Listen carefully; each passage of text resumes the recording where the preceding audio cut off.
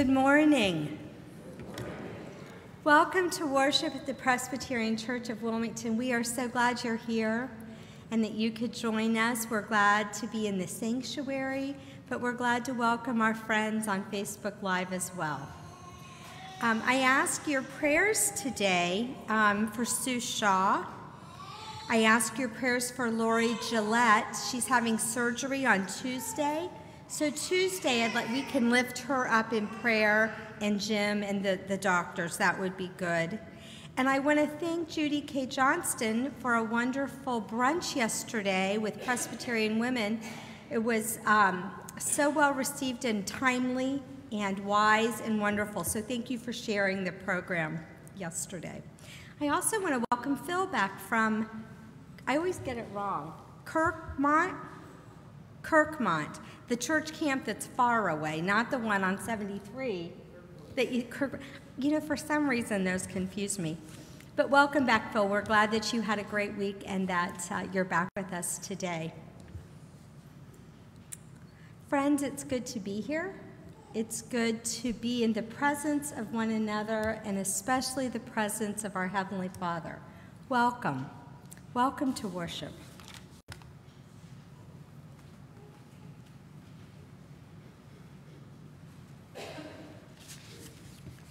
The Lord be with you. Great to see all of you. And uh, as we begin our worship service, I invite you, as, as you're able, to stand and we'll go through the call to worship from Psalm 30.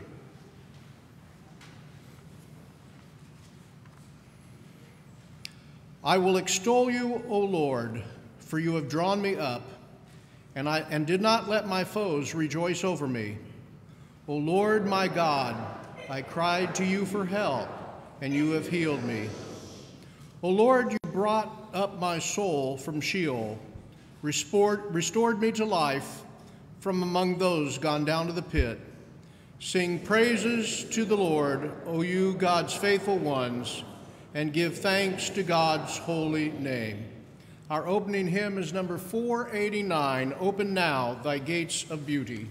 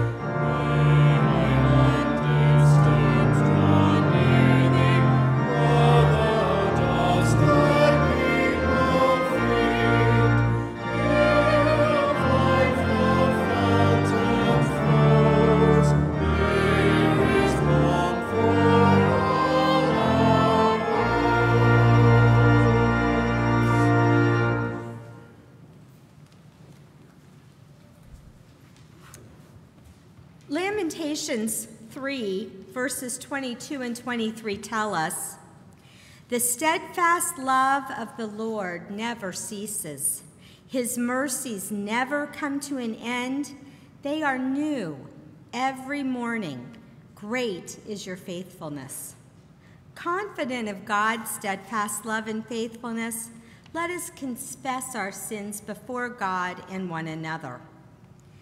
O Lord our God, you call us to work for a world where all will be fed and have dignity. But we find ourselves distracted by our own desires. You call us to seek justice and peace, but we are satisfied with injustice and discord. You call us to bring liberty to the oppressed, but we do not insist on freedom for all. Forgive us, O Lord. Turn us to your will by the power of your Spirit, so that all may know your justice and peace through Jesus Christ, your Son, our Savior. Amen.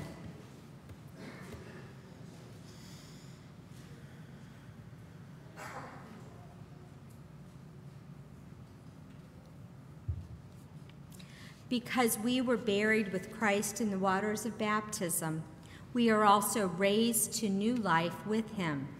Believe the gospel. In Jesus Christ, we are forgiven. Thanks be to God. Amen. the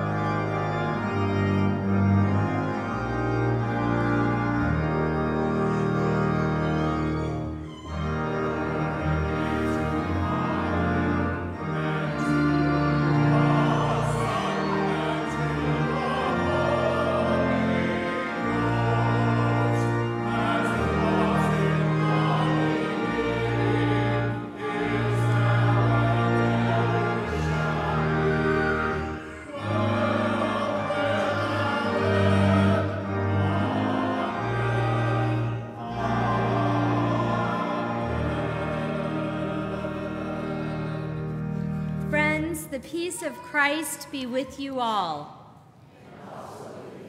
Let us share the peace of Christ with one another.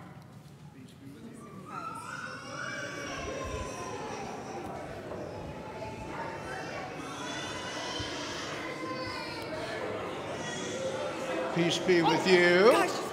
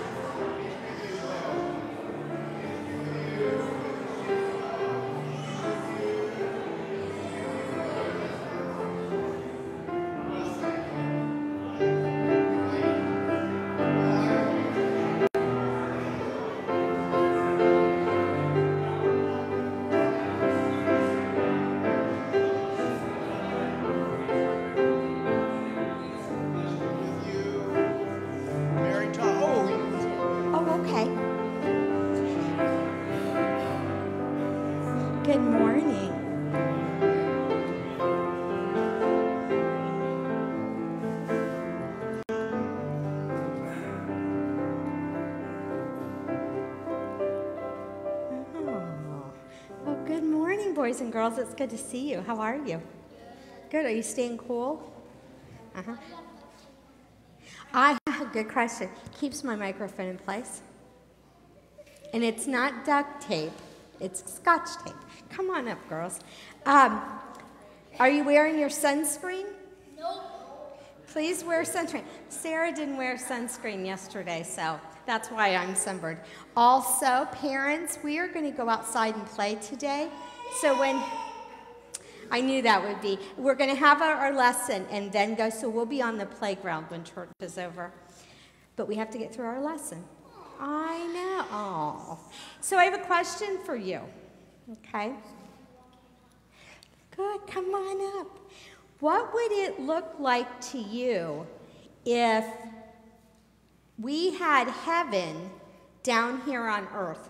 What would it look like if heaven was right here, that you lived in heaven right here, what would be different maybe? No, you would just be you, but the whole world would be perfect. So you know, let me let me back up. So we talked about 2 weeks ago we talked about the Lord's prayer. And we talked about do you remember these words? Our Father who art in heaven, hallowed be thy name.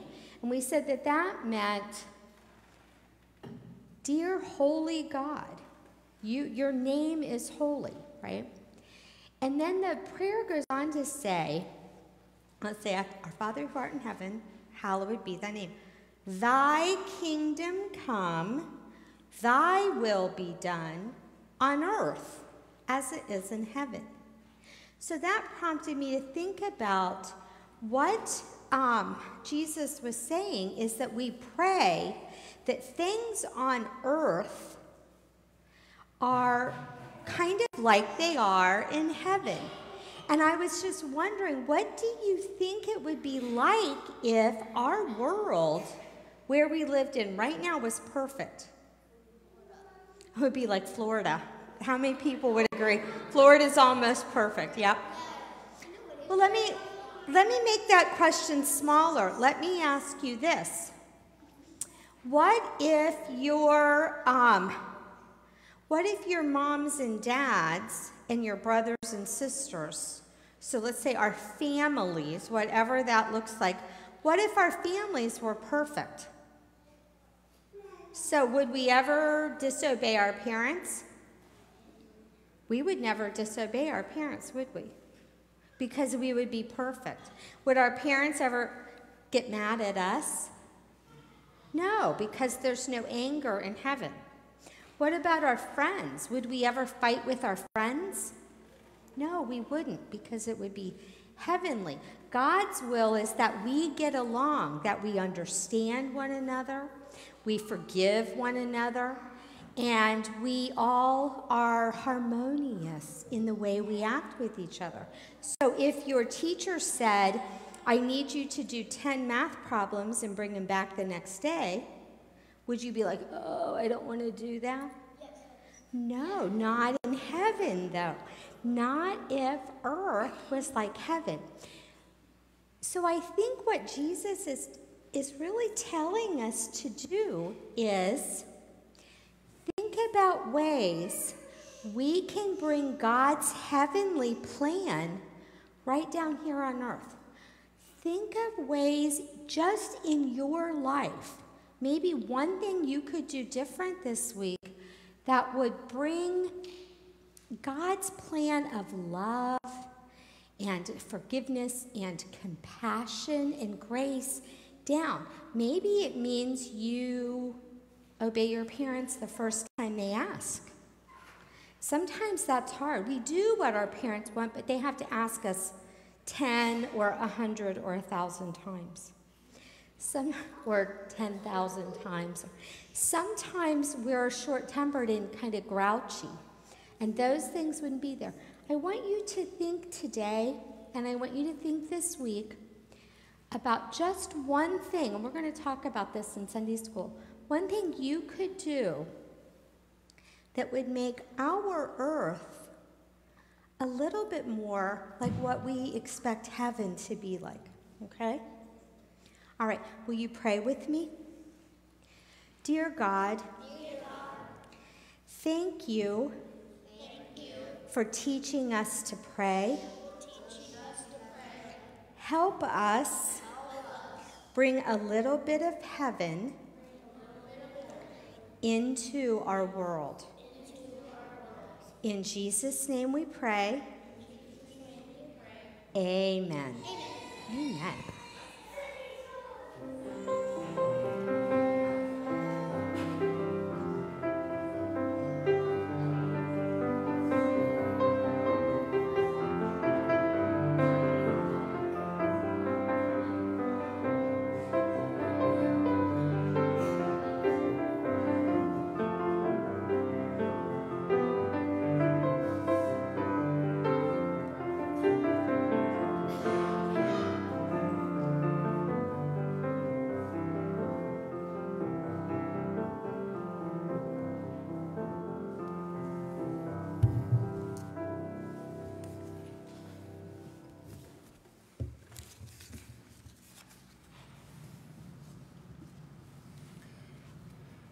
Today we continue our series of sermons from the book of Acts, and we come to Acts chapter 3, and our text is verses 1 through 16.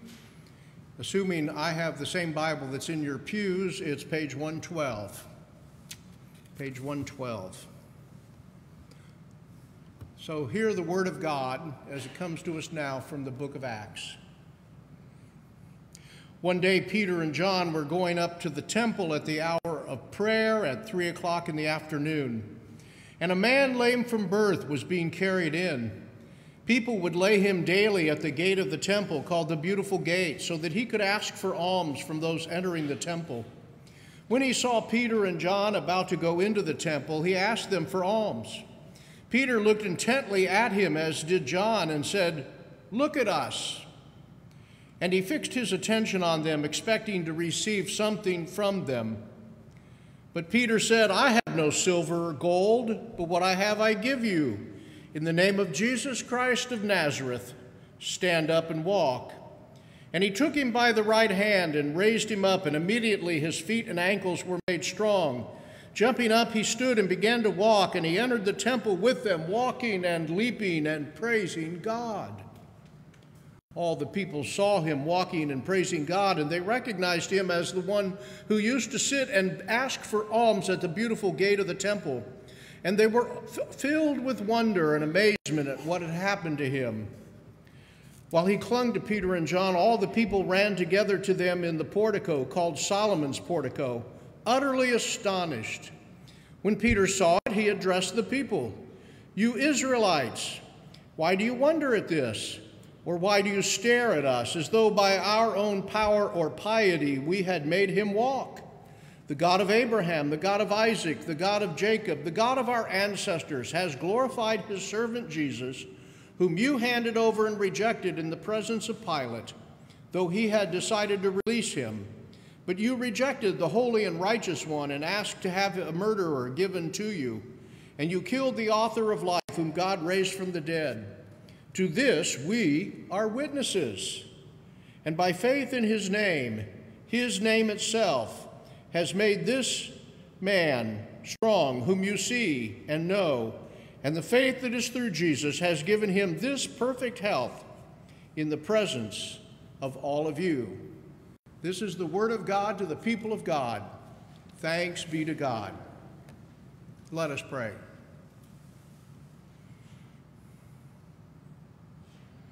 O Lord, speak to us now and silence all of the voices of confusion, fear, and doubt, that we might hear your still small voice.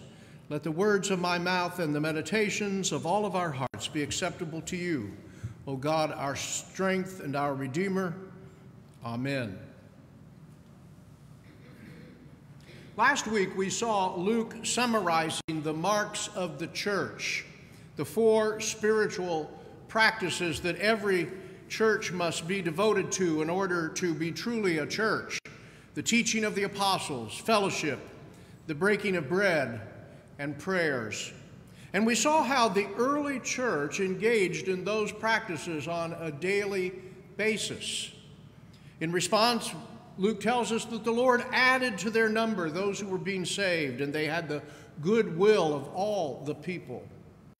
Within, without those four essential practices, which said biblical teaching and preaching, loving Christian fellowship, faithful worship, including Holy Communion, and fervent and frequent prayer, a congregation may have the outward appearance of being a church, but will most likely be caught up in a cycle of institutional maintenance and survival rather than actually being the growing, thriving church that God intends it to be.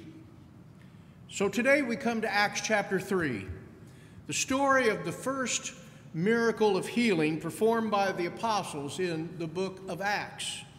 The story begins with Peter and John going up to the temple at 3 p.m., one of the traditional hours of Jewish prayer. And even though Peter and John and the other apostles were now followers of Jesus, they were still Jewish. And so they continued their participation in the rituals of Judaism. And on this particular day, they encountered a man who was no doubt a, a familiar sight to anyone who passed that way. Such sights are not unusual in many places around the world, including in the Middle East. People sit or stand in the same place day after day, begging for money from passersby. If you've been to any third world country, you've surely seen this. Sadly, we've seen it more and more in our own country. Forlorn persons standing at the end of the freeway exit ramps, holding cardboard signs that read something like, Homeless, please help, any amount will do, God bless you. And if you're like me, you find it hard to make eye contact with such persons. You may find yourself handing them a dollar outside your, through your window, through your rolled down car window. But most of the time, isn't it true, we avoid looking at them. No doubt we all feel a sense of relief when the light changes. We can accelerate on through the intersection and thereby put that needy person out of sight and out of mind. Certainly, the people who went to the temple each day would not have been at all surprised to see this particular lame man. His friends brought him to that same location every single day, Luke says, and he would beg for whatever he could get, and I'm sure some of his some days his take was better than others. And I can hear him saying, "Have pity on me. Have pity on me." In other words, give me some money. Could you spare some change? I'm reminded of the scene in Monty Python's satirical film, The Life of Brian. Brian and his mother are heading home when they pass a group of beggars. And the first beggar says, Alms for a leper. And the second one says, Alms for a leper. And the third one, who's clearly not a leper, says, Alms for an ex leper. And Brian says, Did you say ex leper? And, and he says, That's right, sir, 16 years behind the bell and proud of it. And Brian says, Well, what happened? I was cured, sir. Cured? Yes, sir, a bloody miracle, sir. God bless you. Well, who cured you? Brian asks. Jesus did, sir. I was hopping along, minding my own business, when all of a sudden here he comes cures me. One minute I'm a leper with a trade, next minute my livelihood's gone. Not so much as a by your leave. You're cured, mate. Bloody do gooder. And Brian says, well, why don't you go and tell him you want to be a leper again? And he says, Oh, yeah, I could do that, sir. Yeah, I could do that, I suppose. But what I was thinking, I was going to ask him if he could make me a bit lame in one leg during the middle of the week. You know, something beggable. And the lame man in our story is clearly beggable. And so every day his friends brought him to that spot where he asked for alms of those who entered the temple. But on this particular day, this man gets far more than he bargained for. He makes his request to Peter and John just as he did with everyone. And when we think back to what we heard last week about the believers sharing their goods and possessions with everyone in need, Peter's response here is all the more interesting. Remember how Acts 4:34 said there was not a needy person among them. Why? Because money had stopped becoming, had stopped being the most important thing to them. They had discovered a new power and a new way of life a way of life that valued people over profits and that placed compassion ahead of greed. And so, what Peter says to the beggar arises out of this new way of life. A way of life inspired by a Savior who extended the hand of love and grace to all, regardless of their wealth or their status.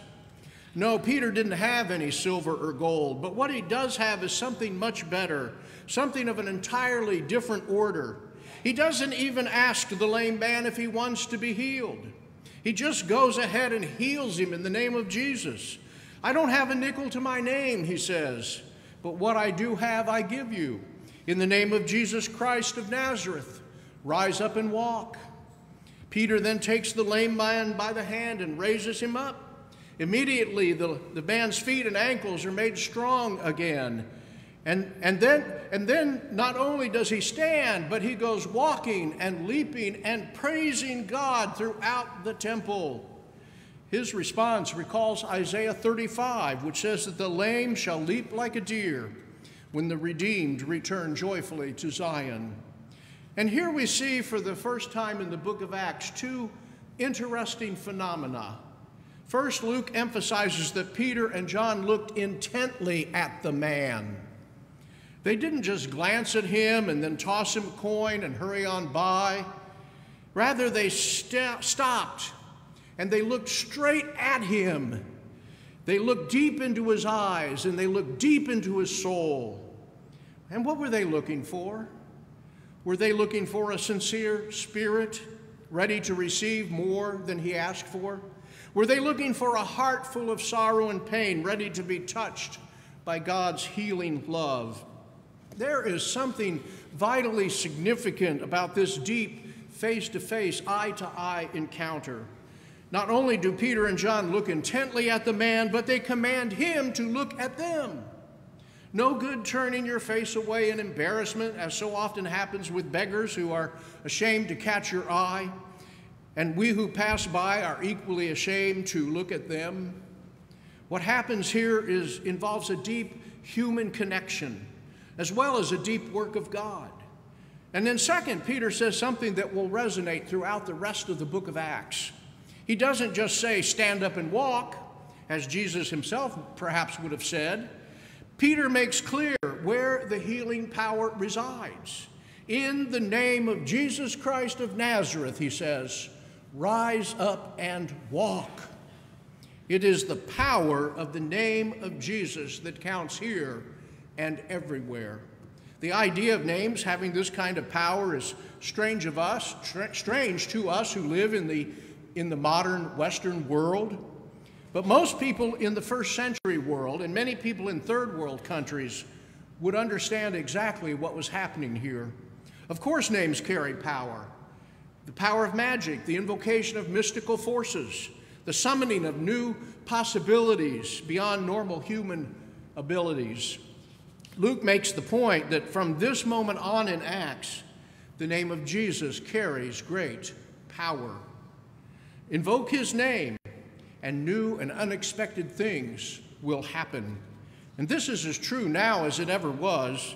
The name of Jesus turns a beggar who sat outside the temple into a worshiper who went walking and leaping and praising God all the way into the temple. And I've seen the name of Jesus give unexpected courage to those facing terminal illnesses. I've seen the name of Jesus turn alcoholics into sober, responsible people. I've seen the name of Jesus turn timid, fearful teenagers into confident, competent adults. That, my friends, is something to ponder. And this brings us to a third important thing that's going on here. Up to now in Acts, the whole story, as you know, has taken place in Jerusalem. In fact, in Luke's gospel begins in Jerusalem with Zechariah in the temple and ends in Jerusalem with Jesus telling the disciples to wait for the power of the Holy Spirit to come upon them. And so the whole story to this point has happened right there in Jerusalem. We find the believers going regularly to the temple to worship, even though, as we saw at the end of the previous chapter, the most important things they did, the teaching and fellowship, the breaking of bread and prayers, probably was happening in the homes of individual members of the church. But the demonstration of the power of Jesus' name in the healing of this lame man takes place not in the temple, but outside the temple at the gate called Beautiful. God is on the move, but will not be confined within the institution. God is breaking out into new worlds, leaving behind the shrine that had become a symbol of worldly power and resistance to God's purposes. This theme will come to a head four chapters from now with the story of the stoning of Stephen. But while Luke's gospel begins and ends at the temple, what he is telling us now is that the good news of Jesus even though it begins in Jerusalem, is starting to reach beyond Jerusalem to everyone and anyone who needs it. No longer will God's healing power be confined to the temple and to those who frequent it. No longer will they just look to the traditions handed down from their ancestors for their source of spiritual strength. As Jesus told them back in Acts 1 8, now the gospel, first proclaimed in Jerusalem, will move out to Judea, to Samaria, and to the ends of the earth, and they will be his witnesses in all those places. And so, this is one of the main themes of Acts that we will see echoed over and over in the course of the story and in the sermons over the coming months. This, too, is something for us to ponder. Luke goes on in this text to describe how, for the second time in the book of Acts, a large crowd comes together in response to this spectacular God inspired event. In chapter 2, of course, it was the day of Pentecost, and the crowd gathering to hear these unlettered disciples proclaiming the Word of God in languages they had never bothered to learn. Now, Luke says all the people ran together to Solomon's portico to see what had happened. And think how dumbfounded they were at the sight of this lame man who they had seen every single day begging at the temple gate, now walking and leaping and praising God in the temple. And Luke says they were utterly astonished, and rightly so. Wouldn't you have been? I'm sure I would be. And would we not, like them, be, know, be eager to know what was behind this tremendous event? And so, for a second time, Peter, seeing that he had a congregation gathered, did what any preacher would do stood up and preached. At first, he disavowed any credit to him and John for this miracle. You Israelites, he says, why do you wonder at this, or why do you stare at us as though by our own power or piety we had made him walk? It is the God of the patriarchs, the God of Abraham and Isaac and Jacob the God who has glorified his servant Jesus, the one whom you rejected and handed over to Pilate to be executed. He is the author of life, whom God raised from the dead, and of this we are witnesses. And by faith in his name, Peter concludes, well, concludes this part of the sermon, not the whole sermon. You can read the rest of it later, but verse 16 by faith in his name, his name itself has made this man strong whom you see and know, and the faith that is through Jesus has given him this perfect health in the presence of you all. It was not, therefore, a matter of a magic trick or some kind of sleight of hand intended to excite their wonder for a moment and then fade away almost instantly. It wasn't us, Peter says, it was Jesus. This miracle is by the power of his name. So you better repent and turn to God, he goes on to say, so that your sins may be wiped out. Well, when Peter finishes his sermon, the temple authorities show up and are much annoyed. They immediately take Peter and John into custody and send them off to jail. Next Sunday, we'll see how Peter and John are dragged before the authorities, who thought that they held all the power and they warned Peter and John to keep silent about the name of Jesus, not to preach or teach in his name anymore. But the day ends with Luke telling us in chapter 4, verse 4, that many who heard Peter's message believed, and the number of people who became part of the church that day was about 5,000 people. God was powerfully at work, lives were being transformed, and the church continued to grow, both in strength and in depth and in numbers. So, what lesson can we draw from this first healing story in the book of Acts? Well, I think there are probably many lessons we could draw, but I'm going to focus in one direction.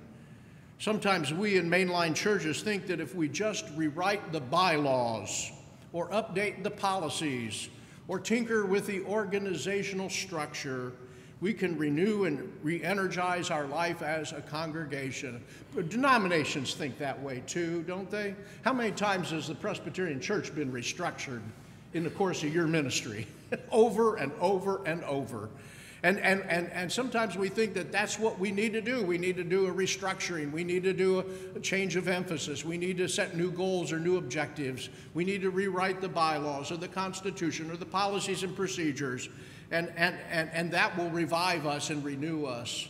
Well, I've seen this over and over in my years as a pastor, and I could give you several examples. One church I served decided to write a new constitution. Three members of the church were assigned the task. They were all great people. One, one was a prominent business executive, a leader in his field. The second was, was a former school board member. The third was a, a denominational executive who knew all about how churches worked. They wrote a, a constitution that was going to be more efficient and give us a clearer focus and a sense of purpose as a congregation. It was approved by the congregation and it took effect the following year. But did it, did it change the inner dynamics of that congregation in any appreciable way? Not one bit. And in fact, three years ago, that church closed, and I was there on one of the final services to help uh, celebrate the past and grieve the closing of that congregation. So, listen, friends, if, and I could tell you other stories about this kind of approach, but if a congregation does not radiate a vital experience of faith in Jesus Christ, if it does not have a clear and compelling message of grace, love, and acceptance to offer to the community, if it is not a place for spiritual healing, then all the tinkering with the institutional machinery in the world will not make up for the deficit. We can't give to unchurched people in our community what we don't already have. The question is can we at the Presbyterian Church of Wilmington be a healing community? Can we be a place where those who are crippled by the burden of sin, by the chains of guilt, and by the shackles of fear find liberation in the Spirit so that they can join us in following Jesus Christ? It's hard to share the love of Christ if you haven't experienced it for yourself. It's difficult to offer a helping hand if you've not been touched by Christ's grace at the point of your own need for healing and strength. It's next impo- to impossible to lift others up if you haven't been lifted up out of your lame, crippled experience. We can't give what we don't have. But if we as a congregation have experienced God's grace, and if we devote ourselves to the preaching and teaching of Scripture, to fellowship and to worship, and especially to prayer, and if we make space in our hearts and in our fellowship for those who are spiritually and physically wounded, to, where, to be a place where they can come and find spiritual healing, wholeness, and grace, then how can we keep silent about what we have seen and heard? The late uh, preacher and, and professor of preaching, Fred Craddock, told the story of Frank. A 77 year old man he met in Washita Creek, Oklahoma, a little town with a population of 450 people and four churches. Those four churches were Methodist, Baptist, Nazarene, and the Christian church, Disciples of Christ, that Fred was the pastor of. And each church had its own share of the population, but no one, none of them, not any of those churches had been able to reach Frank. And at the little downtown cafe, the farmers would sit around and say, Oh, Frank, you'll never get him into church. And Fred Craddock says that when he met Frank, he got the standard line I work hard, I take care of my family, and I mind my own business. As far as I'm concerned, everything else is fluff. And that's why everyone in town was dumbfounded when Frank came to church and presented himself for baptism. There were lots of rumors flying around about why he was doing that. 77 years old, always minded his own business, but some folks thought maybe he was dying of cancer, or some heard he'd had heart problems, was having heart problems, or, and, and some thought maybe he was just scared to meet his maker. After all, at age 77, you don't know how many days you have left, right? Could be tomorrow or it could be years. But Craddock says Frank told him why he did it. He said, You know, I always said, I work hard, I take care of my family and mind my own business. I said it all the time. Only thing was, back then, I didn't know what my business was. Now I do. And so Frank discovered what his true business was, and so have we as a congregation, our business, our calling, if you will, is to be the church of Jesus Christ, a loving and growing community of faith for all of God's people. So let's recommit ourselves today to answering the call to be a church of love and healing of grace and acceptance and joyful welcome for all the children of God here in Wilmington and Clinton County. Thanks be to God. Let us pray. O Lord, take us by the hand and lift us up. Restore us to a vital, courageous faith so that we might be your church in this place and welcome all who desire to walk with you. In the name of Jesus, we pray. Amen. And now I invite you to stand as you are able and let us confer- affirm our faith. As today, today we recite a portion of the, a brief statement of faith. Let us say what we believe. In a broken and fearful world, the Spirit gives us courage to pray without ceasing, to witness among all peoples to Christ as Lord and Savior, to unmask idolatries in church and culture, to hear the voices of peoples long silenced, and to work with others for justice, freedom, and peace. In gratitude to God, empowered by the Spirit, we strive to serve Christ in our daily tasks and to live holy and joyful lives, even as we watch for God's new heaven and new earth, praying, Come, Lord Jesus. With believers in every time and place, we rejoice that nothing in life or in death can separate us from the love of God in Christ Jesus our Lord. Amen. You may be seated.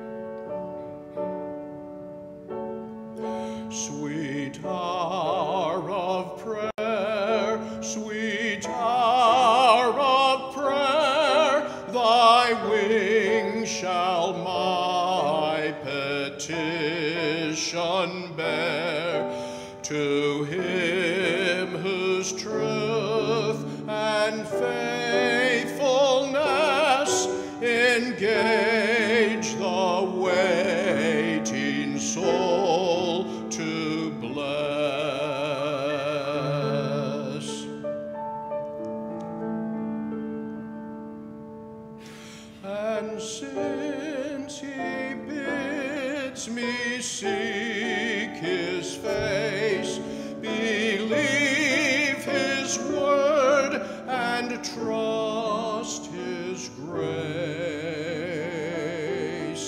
I'll cast on him my every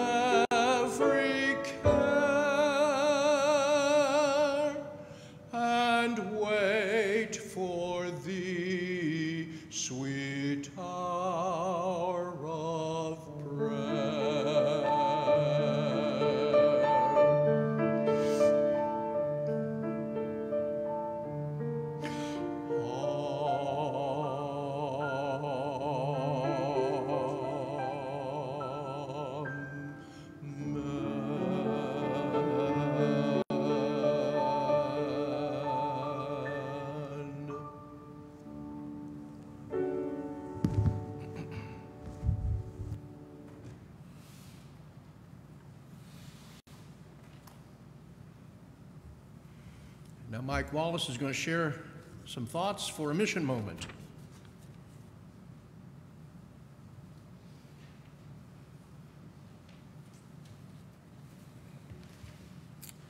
in support of uh, some of the things that uh, uh, Pastor Gockel talked about this morning. Of course, I'm getting close to that age of 77 he talked about, so you have to uh, just bear with me here. But I pulled out some old notes uh, that I read maybe about a year and a half ago up here on the same, uh, the same place and same time. And so, what would really be revealed to us if we really asked with humility and then followed through with the hard work of learning and discovery. What information do you need? What discoveries and opportunities are possible? You've heard me speak many times, and I have up here. I've talked many times about one of my heroes, George Washington Carver. George would take daily walks with God. And during some of those walks, God revealed to him secrets that we still rely upon today. George once asked God for the keys to his kingdom. And God responded, Oh, little man, you have no idea what you're asking for. But he said, I tell you what, I'll share you the peanut. And so it grew from there. In a book called Expect Great Things, there is a quote which I ran across recently, and it says, Almost everyone, almost everyone believes that prayer is important. But there's a little difference between believing that prayer is important and believing that prayer is, is essential. Essential means that things will not happen without prayer. Jesus told us in the Sermon on the Mount to keep asking and will be given you. Keep seeking and you will find. Keep knocking on the door and the door will be open to you. We're told in James that if any of you lack wisdom, ask him of God and will be given to him. In Jeremiah, God says, Come to me, and I will show you great and mighty things that you do not know. In 1 Timothy, Paul urges Timothy to start focusing on his teachings on church prayer. One of God's great plans for the church, as we talked about this morning, is to be a place of prayer. In Mark, Jesus says that we should become a house of prayer. If you remember, a little over a year ago, we started praying for the service on Sunday mornings uh, before the service. We, we did that for roughly a month, and then the coronavirus hit, and that ended all that that we, that we were doing. And with all this in mind, the Evangelism Committee really wants us to make sure that we as members take this initiative in prayer. It's not that any of us think that, that we don't pray, because I believe we all pray. But sometimes we tend to get in one little corner in prayer, we want to make sure that we're keeping the life of our church involved in prayer as well. And so there, there, there's one thing that we've got coming up that we want to really try to emphasize uh, for these next few weeks, and that's our Vacation Bible School. Now, Sarah has, has run off several little reminders that's out there in the narthex. I see them this morning. There may be 50 or so out there. If everybody grabbed three or four of those and took them with them, hand them to somebody you know uh, to, to, try to get children here. You know, and there's things for us to pray for, uh, for, for that thing. And that's what I really want to emphasize for us this morning. when you go into that prayer closet, maybe put one of these things up there, but give you ideas about things that you could pray for to help this thing going. As an example, we, obviously we need participants, right? So we could pray that, that God sends us more people. Let's get some children in this church. You know, that would, that would be a good thing to pray for. There's organization, there's planning, there, there's supplies, workers, food, information. There's a lot of individual things each one of us could come up with and pray for, and your imagination can run wilder than mine, that's for sure. But when you break it all down, you can see that we really need a lot of help here. And each one of you can help us in that way, that's for sure.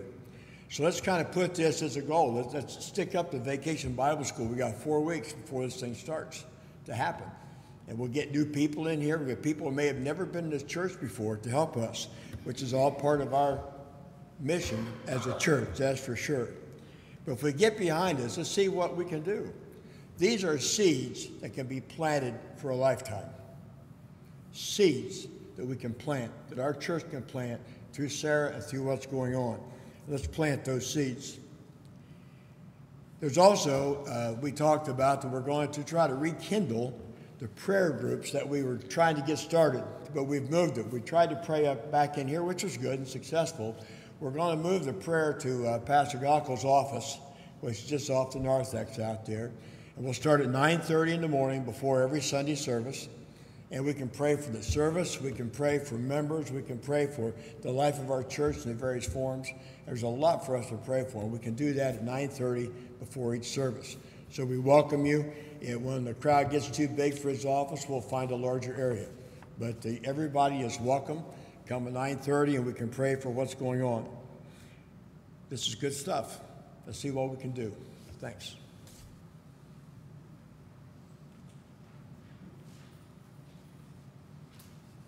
Thank you, Mike. So next Sunday morning at 9:30, you want to help bathe the service in prayer, come to my to the pastor study at 9:30, and we will spend a, spend a few minutes praying together, praying for the service and everyone and who comes. So please join me. Let us, as we go to prayer now, let us lift up the situation in Miami, Florida, the collapse of the uh, condominium building, many people who are still missing and the terrible situation there. Also, let's remember Sue Shaw and Yvonne Reagan, two of our members. Uh, Yvonne's still with us, still hanging on, but still getting hospice care and uh, just very weak and and uh, not able to uh, communicate much, but uh, uh, just keep her in your prayers. Let's, let's unite in prayer. Let us pray silently.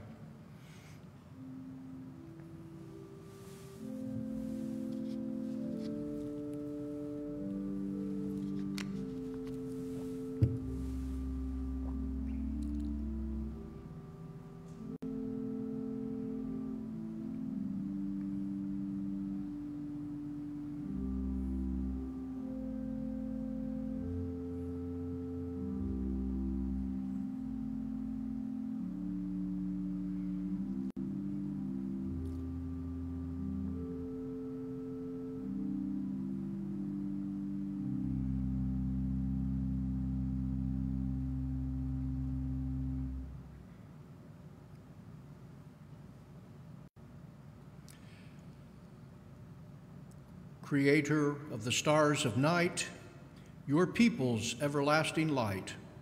O Christ, Redeemer of us all, hear your servants when they call. Hear your servants, O Lord, as we lift to you the needs of your children, both near and far. We pray for all those affected by the terrible collapse of the Champlain South Tower in Miami. One moment, people are safe in their homes, asleep in their beds in the next moment, there's chaos, destruction, and death on a massive scale. And so we pray for the souls of those who've died, and we pray for those who are still missing. We pray that if by some miracle a few more lives might be saved, we ask for your special comfort and strength for all the families who are anxiously awaiting word of their loved one's fate. And we pray that building codes and maintenance standards might be strengthened as a result of this tragic event. Hear your servants as we pray for those whose lives are endangered by war and unrest, those who struggle for justice, those who seek after peace. We pray for the suffering, the imprisoned, the hungry and homeless, those trapped in poverty. We pray for the sick and those who care for them, who bring a cup of cold water in your name to those who are thirsty.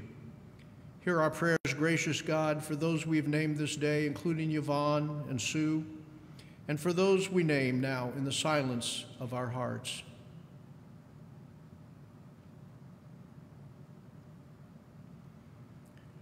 Hear your servants, O Lord, as we lift to you the needs of your church, whom you've redeemed by the sacrifice of Jesus. Give it pastors and ministers, elders and deacons filled with your spirit and with strength to serve by the guidance of your word, perfected in love and in compassion, and establish it in the faith of your saints, uniting all your people that one holy church may bear witness to you and to your glory. At your great name, O Jesus, now, all knees must bend, all hearts must bow, all things on earth with one accord, like those in heaven, shall call you Lord. And so we unite to pray the words Jesus, our Lord and Savior, taught us Our Father, who art in heaven, hallowed be thy name. Thy kingdom come, thy will be done, on earth as it is in heaven. Give us this day our daily bread, and forgive us our debts as we forgive our debtors. And lead us not into temptation, but deliver us from evil. For thine is the kingdom, and the power, and the glory forever. Amen. Our closing hymn is number 408, Where Cross the Crowded Ways of Life, and we'll sing verses 1 through 4. Please stand as you are able.